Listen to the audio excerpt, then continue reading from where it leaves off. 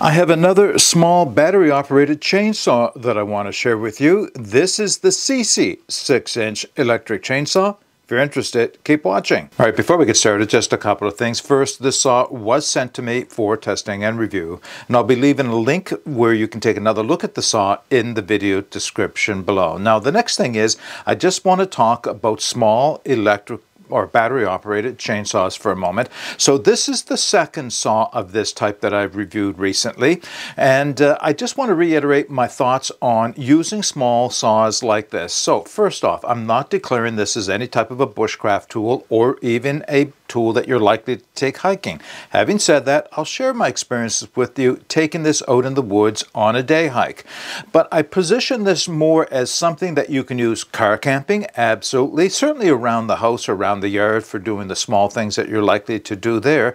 But I did also say that this is something that you may decide would be good for you if you have limited mobility or limited physical ability to operate any other type of saw because this really does make uh, cutting up small pieces of wood at least very easy. All right, having said those things, what I will do is just focus in on the saw for a few moments, very briefly go over its physical dimensions and that type of thing, show you what it came with, but I want to talk about my experiences in using it. All right, let's get started. All right, before we focus in on the saw directly, it's only fair that I show you what it came with. So let me put the saw aside for a moment. This is the case the saw arrived in.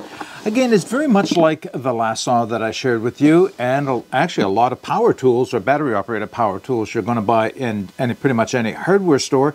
Nice hard plastic cased hinged with double clasps on it. You know, maybe too big for carrying in your backpack. Well, it is too big for carrying in your backpack, let's be clear on that, but maybe not so bad for putting in your vehicle for if you're taking a car camping, and of course you want something like this to keep everything together around the house. So it's the items inside. Now, here is improvement number one over the other saw, chain guard. I really appreciate it when I opened this box up to see that there was a chain guard to go with this so I didn't have to come up with something to cover over the end of the saw when I did put it in my backpack. So I'll be keeping that for sure. You do need a manual. Well, you should read the manual. Let's put it that way, because there is obviously some good information in here as well as warranty information. And I'm going to talk about the recommendations around oiling that are specifically in this manual in a moment. So what else do you get? Spare chain, which is good. Now, mind you, again, as I mentioned last time, this is a real chainsaw chain. It just happens to be one sized for a six inch bar. So it can be sharpened just like any other chainsaw chain can. So you get the one that's included and a spare one just in case. You get two 21 volt lithium ion batteries and I have one installed on the device right now. Of course you need a means of charging them so there is your charging block uh, the things that maybe not all that useful, but you know, I suppose it's nice that they include it, is this pair of cotton gloves as a safety piece of equipment. I don't know that I would trust these to save my hands from the chainsaw itself, but you know, when you're handling pieces of wood, maybe it'll help save you from splinters, but I'm sure there are other uses for a pair of gloves. I'm sure you'll find some use for these, right? This is, of course, something that's worth having, and that is a pair of safety goggles. Always worth having because this will throw chips without question. So nice to have those. Now, one thing that you'll notice that's not in this that you would normally have with a chainsaw is hearing protection. You don't need it with this. This is a very low sounding uh, tool, as you'll see when I get it outside. And the last thing, I have to pop it from its case, is this small Phillips screwdriver, which is used for adjusting the chain. So let me put the case out of the way at least bring the saw back into the picture. So I'm very briefly going to go over the physical specs for this. And to start with bar length, I already mentioned this is at 6 inch chainsaw bar, so not very long at all, which is 152 millimeters. Overall length of this device is 15.7 inches or 400 millimeters. And the weight for this device with the battery installed is 2 pounds, 10 ounces or 1.186 kilograms. Now, as far as the performance specifications, the only thing that I will tell you that I have information on, of course, is the chain speed, which is 780 RPM, and it does run on those 21 volt lithium ion batteries. So There is a couple of features on this that I think are worth noting, and I do have comments on. The one that I think is most important is this, and this is something that's different from any of the other handheld chain, electric chainsaws that I've seen before, and that is an oil pump, something to oil the chain with. So yeah, this was definitely different from the last one. So the concept here is, is that you have a reservoir here where you'd pour chainsaw oil in, and I did go to the manual, and it does say that you can use any normal chainsaw oil for this. That would make sense, of course. And then there's this bubble pump right here. So uh, I, I got to be honest, I was a little bit wondering if this would be effective or not. And it is only when it's warm out. And that's my qualification on this. So I did fill it with a lightweight chainsaw oil because I am now in the middle of winter and I took this out in the woods as you'll see in a few minutes time and what I found is that the bubble was too stiff to press when it got cold so it, I, it's it's not a feature that I see as a big benefit to have on this chainsaw but it's not a bad feature either. So here's the thing I'd say about it. If it's warm enough that you can press the chainsaw bubble to oil the chain, then that's fine. And if it's not so warm and it's cold, like you'll see in my demonstrations, then just do it the way you would do it on others, and that is oil the chain directly. And I do keep a small canister of oil just for that reason that I can just run around the chain every so often to keep it lubricated while I'm using it and it works just as well. So I didn't feel handicapped by the fact that this pump was not working during its operation as far as I'm concerned. All right, now let me just talk a little bit about its operation and then I'll share my experiences with it. All right, as far as operating the Seesii battery operated chainsaw, first thing to take into consideration is that this is a real power tool. It has a really sharp cutting edge and if you're not safe with it, then of course you can do not only damage to yourself, but you can damage the machine itself. So you do want to pay attention to safety when you're operating with this device. So, and the same thing when it applies when you're out in the woods and you're cutting wood. If it's not just a stick laying across a bench that you're cutting into firewood, but you're actually doing some cutting on trees or whatever, you want to apply the same safety procedures you would use with any saw, regardless if it's a chainsaw or hand-operated saw. So I'll get that out of the way. Now, as far as using this device goes, I'll start with the battery. The battery is the 21 volt lithium ion battery, as I mentioned before, installs on the bottom. I mean, it's virtually identical to many of the battery operated power tools that you can get. I mentioned it does have two of them. It does have a safety for the trigger. So there is the safety. You would press the safety in before pressing the trigger itself. You can see the trigger is locked out.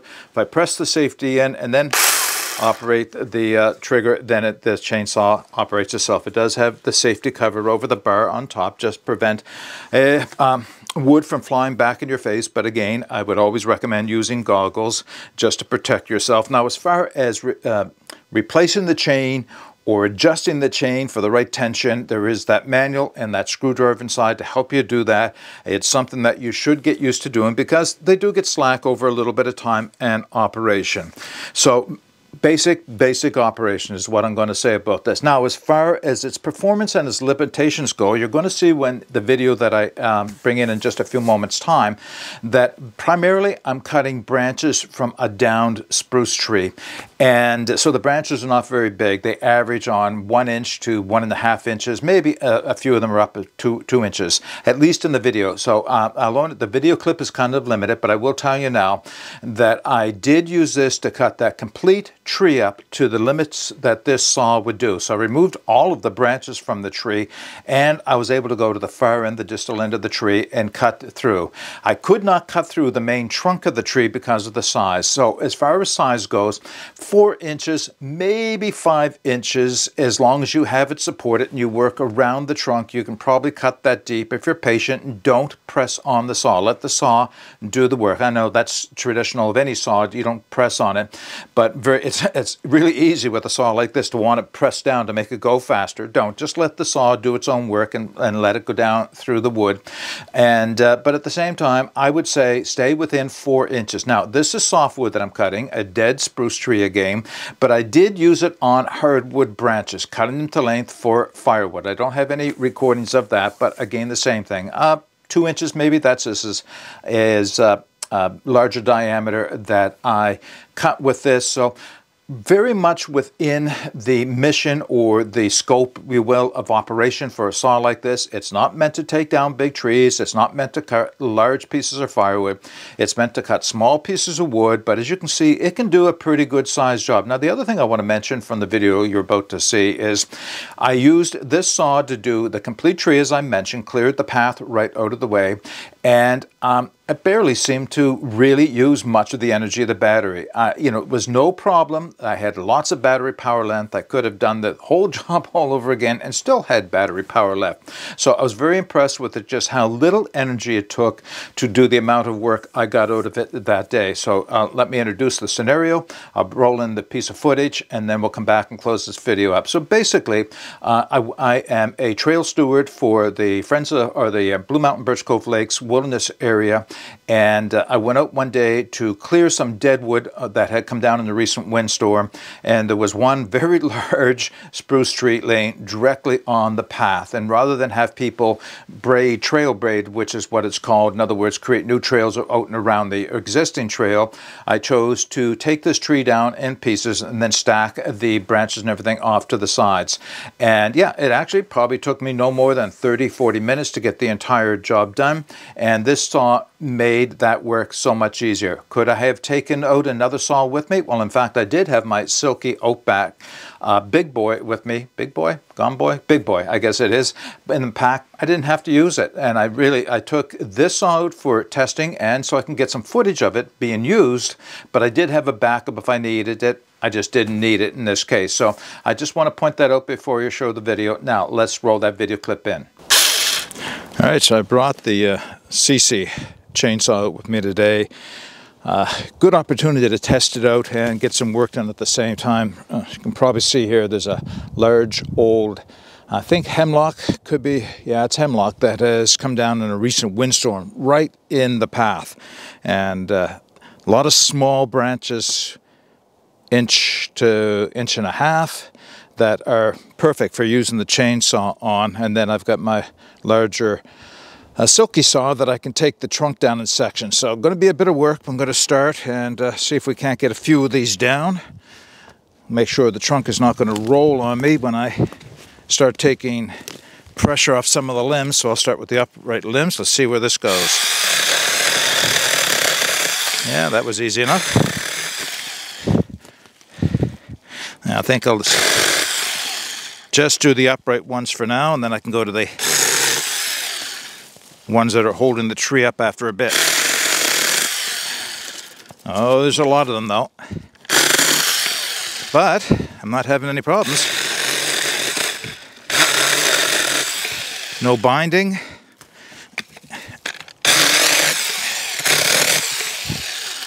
But I'm going to be here for a while doing this. So far, so good. I think that's a supporting branch down there. Well, yeah, I'll work my way up the tree, taking all the top ones off, and then I'll come back and do the lower ones where it may be spring uh, spring loaded or the tree may be resting on them. If I take those off, the tree has a chance of rolling, but I'll be prepared for that. But first, let's get all these out of the way. All right, let's wrap this video up with a few closing comments for the Seesii 6-inch battery operated electric chainsaw. So what do I think it's really well or what it's really good at? Well, let's keep in mind what the mission is for a saw uh, like this. So begin with, it is not a full-size gas-operated saw. It's not a full-size electric battery-operated saw. It is a small handheld tool, so it will have its limitations. And now, by as far as limitations go, I'm talking about cutting branches or pieces of wood maximum four inches in diameter. You may be able to stretch it to something five and maybe even six inches diameter, but I would say to be on the safe side, stay within four inches in diameter. Now I know that doesn't sound like an awful lot, but it does have real possibilities. Number one, using this around your home or around your camp, this will make light work of a lot of the small chores that you might have there. Taking this car camping will allow you to cut up firewood that you would otherwise have to do by hand. And for people who have limited mobility in their shoulders or their arms, this will make the job a lot easier and still able to cut up firewood without a lot of strain. Now, my experiences using this is it operated fine, very fine. It was cold temperatures. Uh, the battery barely used any of the energy in that entire experience cutting down that large uh, spruce tree. I still had plenty of battery power left. Now, I did pack backpack it out that day. It's not something I would take often for trail clearing, but I wanted to take it out just so I could record that video. I needed to cut the tree up anyway. Normally, I'd probably take a buck saw or a folding saw. But you know, after having done that, I would actually consider taking this out again for all those small jobs that just don't require a lot of a big saw or a powerful saw. So yeah, now having said that, that tree was at about the limit of what I would try and do with any small saw. It The trunk, well, I couldn't cut the larger part of the trunk. I could only cut the fur out end of the trunk with this saw. After that, it would have had to go to my backpack or my one of my folding saws or even a gas-powered chainsaw, you know, if it had been a much bigger tree than that. So those are my experiences. Um, I think this operates really well within its intended mission. Um, but does it have any cons? Well, I'm going to call this a relative con, certainly not a deal breaker. Is I'm just not enamored or I don't think uh, a lot about the oil pump on the outside of it here. The reservoir holds oil just fine and it doesn't leak as long as you get the cap on tight. It's just that I found it challenging pressing down on the button when I was out in the woods because it was, I don't know, minus five, minus eight degrees Celsius that day. Uh, yeah, so I found that a little bit challenging. But then again, again, not not a deal breaker because I can still oil the chain with a small bottle of oil that I, uh, a squeeze bottle of oil that I carry with me just for that purpose.